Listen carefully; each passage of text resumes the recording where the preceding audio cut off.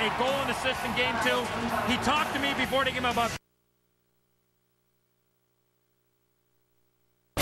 One swing can change a game. Adam Dunn, batting 600 against Kershaw. Every game has a defining moment.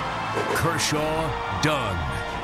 Who will own it? Nationals Dodgers. The series starts Friday on MASN 2 and MASN 2 HD.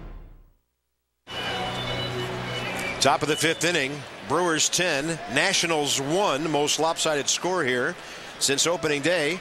We think we've got it. Three current managers played for the Expos Ken Macha, Terry Francona, and Brad Mills.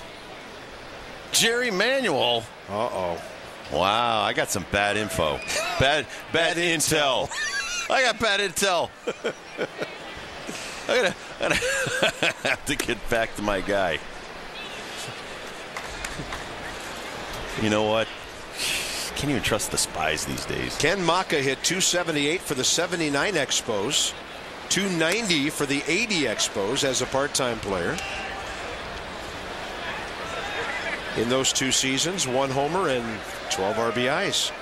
That's what you call future manager type numbers. Because very few great, great players ever seem to become good managers. It's a nice play if it works. Adam nice. Dunn to Batista for the first out in the fifth inning. Who says the big man doesn't have range?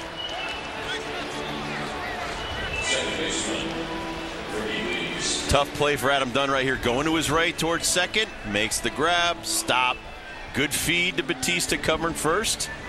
Adam Doe told me last week he worked a lot on defense in spring training. And I said, okay, but what does that mean? And he said, what I mean by that is footwork. Getting to the ball a little quicker, getting to the ball when your feet are in a good position to turn, throw,